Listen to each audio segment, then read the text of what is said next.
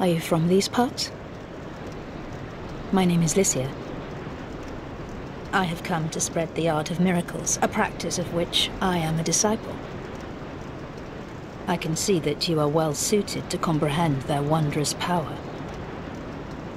But the cost of it? That's for your heart to decide.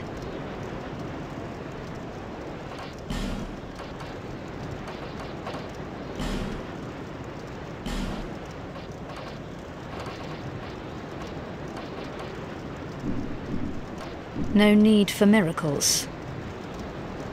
The gods frown upon such soul scrimpers.